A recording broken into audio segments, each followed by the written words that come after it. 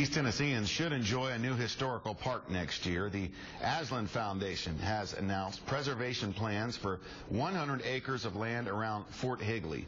The space offers great views of downtown Knoxville skyline and the Smokies with a touch of Civil War history. The 1863 Battle of Knoxville took place on those grounds. Visitors can still see remnants of the fort there. The city has a rich history, and it has a beautiful ridgetop with fantastic views of the city. People should see it, enjoy it, appreciate it, and be proud of it. High Ground Park will have exercise trails, picnic space, and historical markers. It is set to open November of 2013. Well, the Tennessee